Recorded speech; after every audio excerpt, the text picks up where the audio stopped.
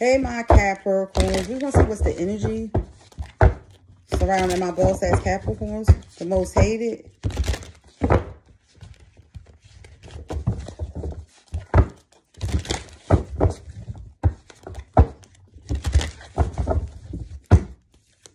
Holy Spirit, what is the energy surrounding my boss ass Capricorns? Three of Cups.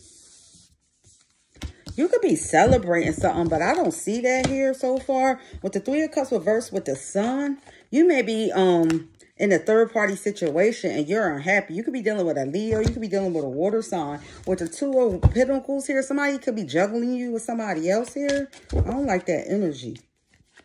You be dealing with a Leo, water sign. Holy Spirit, what is the energy surrounding my boss ass Capricorns?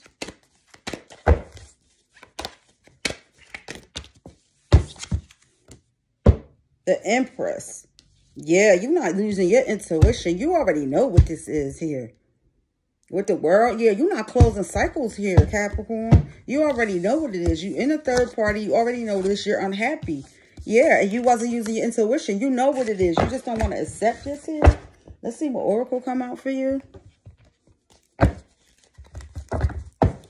Holy Spirit, what is the energy surrounding my boss ass Capricorn? The most hated?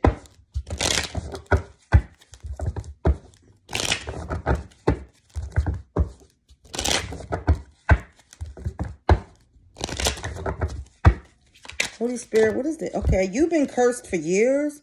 You may be coming up out of praying, Capricorn.